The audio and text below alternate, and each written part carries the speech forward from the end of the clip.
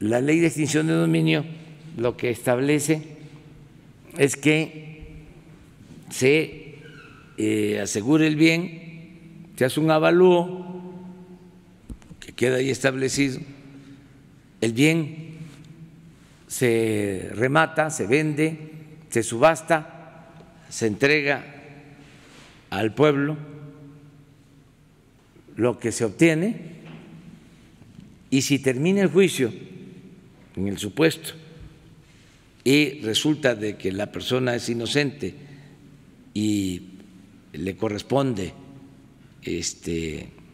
ese bien que le fue eh, retenido, eh, hay que pagarle